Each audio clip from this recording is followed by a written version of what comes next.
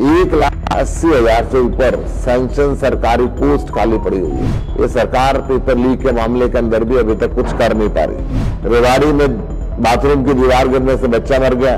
बिजली के कनेक्शन नहीं है स्कूलों में। स्कूलों के अंदर साढ़े पंद्रह सौ से ऊपर स्कूलों में टॉयलेट नहीं है। कॉर्पोरेट घराने हरियाणा को अनसेफ मानते हुए अब हरियाणा के अंदर आना नहीं चाहते। हमारे देश को आज़ाद हुए छिहत्तर साल हो गए। लेकिन कई चीज़ों में हमको अभी आज़ादी नहीं मिली। जैसे कि सरकारी दफ्तरों में दुश्वारियाँ, परेशानियाँ बद इंतजामियाँ हमने आज़ादी की जंग इसलिए लड़ी थी ताकि हमारी आने वाली पीढ़ियों की ज़िंदगी आसान हो सके। ना कि इसलिए कि वो जगह जगह पर सरकारी दफ्तरों में धक्के खाएँ, परेशानियों का सामना करना पड़े। शहीद आज़म सरदार भगत सिंह जी के सपनों को साकार करने के लिए पंजाब सरकार ने फैसला किया है कि पंजाब के लोगों को अब सरकारी दफ्तरों के चक्कर नहीं लगाने पड़ेंगे बल्कि सरकारी दफ्तर खुद चल के लोगों के घर पर आएँगे। अब सरकारी दफ्तरों के चक्कर काटने की ज़रूरत नहीं। बस डायल करें 1076 और सरकारी सुविधाएँ अपने घर पर ही पाएँ। पंजाब की भगवंत मान सरकार आपके द्वार। हरियाणा में तैतीस परसेंट युवक ना पढ़ रहा है, ना जॉब कर रहा है। बेरोजगारी में हरियाणा देश में नंबर वन है।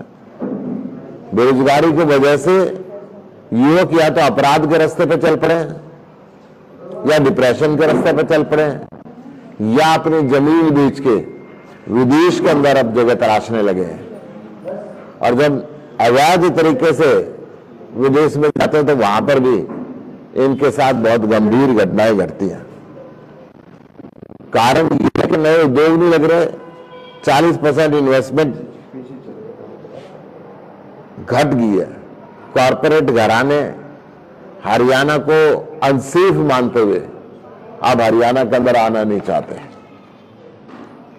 एक लाख अस्सी हज़ार से ऊपर सैंक्शन सरकारी पोस्ट खाली पड़ी हुई है। सरकार उनको भरने नहीं चाहती। तीस हज़ार इसमें से केवल शिक्षकों की पोस्ट खाली है। साढ़े चार हज़ार असिस्टेंट प्रोफेसर की पोस्ट खाली है। इकतीस बार पेपर लीक हुआ है। ये सरकार पेपर लीक के मामले के अंदर भी अभी तक कुछ कर नहीं पा रही। एक पीएम की पोस्ट निकलती है तो एक लंबी लाइनें लगती है।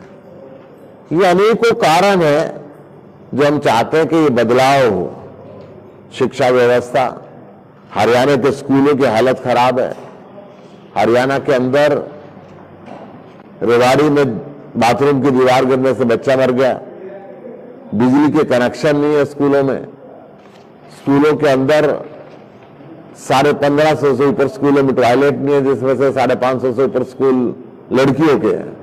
बिजली के कनेक्शन नहीं है। हाई कोर्ट इनके ऊपर फटकार लगाता है, पाँच लाख रुपए जुर्माना करता है। परंतु ये सरकार ध्यान नहीं देती। इसके विपरीत अगर मैं दिल्ली की बात करूँ पंजाब की बात करूँ, कोई भी फ़सल खराबी होती है तो फ़सल कटने से पहले मुआवजा बैंक से उसके खाते के अंदर पहुँचता है। स्कूल वर्ल्ड क्लास बनाए गए हैं। आज अमेरिका तक के अखबारों के अंदर दिल्ली के स्कूलों की चर्चा होती है। हरियाणा का हर माँ बाप चाहता है कि मेरे बच्चे को दिल्ली के स्कूल और कॉलेजों में दाखिला मिल जाए तो उसकी ज़िंदगी सुधर जाए। दिल्ली के अंदर सरकारी हॉस्पिटलों में 24 घंटे डॉक्टर निःशुल्क दवाइयाँ, आधुनिक मशीनें। फरीदाबाद के अंदर भी कोई गंभीर बीमार हो तो कहते दिल्ली चलो, वहाँ पे जान बचेगी, बिना पैसे के इलाज वहाँ पे होगा। बिना खर्ची पर्ची के रोज़गार वहाँ पे मिलता है। बिजली फ्री मिलती है 24 घंटे मिलती है।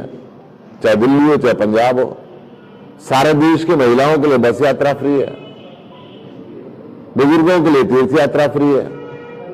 उसके बाद भी 8,200 करोड़ रुपए सालाना प्रॉफिट हमारी सरकार कमाती है।